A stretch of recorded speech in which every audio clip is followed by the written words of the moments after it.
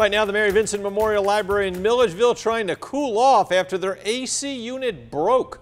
Tuesday, council members talked about how it was going to get fixed. Avery Braxton was in the room when they had that discussion. He joins us now in studio. Frank, the Milledgeville City Council was asked to help with some costly repairs at the library and use Tuesday's city work session to strategize how and who would help get them fixed. On Thursday, the city of Milledgeville will celebrate the opening of a brand new library branch, a location designed to help local businesses and take in some of the 110,000 visitors its counterpart collects annually.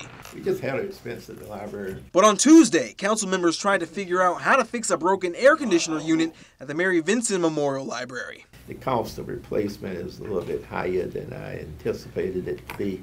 City manager Barry Jarrett said a cost estimate for a new unit came to $94,000. The library was asking the city to pay for half. We do not have money budgeted for this item.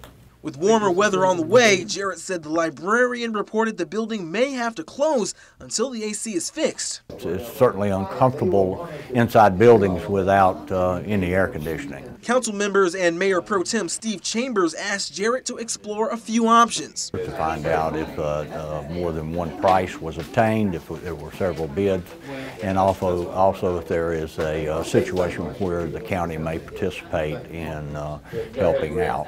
Chambers says since the county and city have a service contract until the summer, it only makes sense to ask if they'd help cover the unexpected expense. Uh, it's something that, um, you know, if you're owner of a household and it comes up, then, you know, you, you certainly don't want it to happen. It's just like all of a sudden finding out you need a new roof or whatever. Chambers said the city council will look at their remaining budget and see where they can pull money to possibly help cover the unit expense. Frank, back to you. All right, thanks, Avery. Now, the new library branch on East, East Hancock Street and the grand opening there will be Thursday at 5 p.m., so opening that new branch will certainly help out.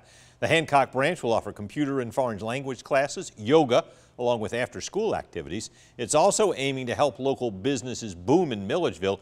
90% of the cost for the new library came from a grant from the Georgia Public Library Service.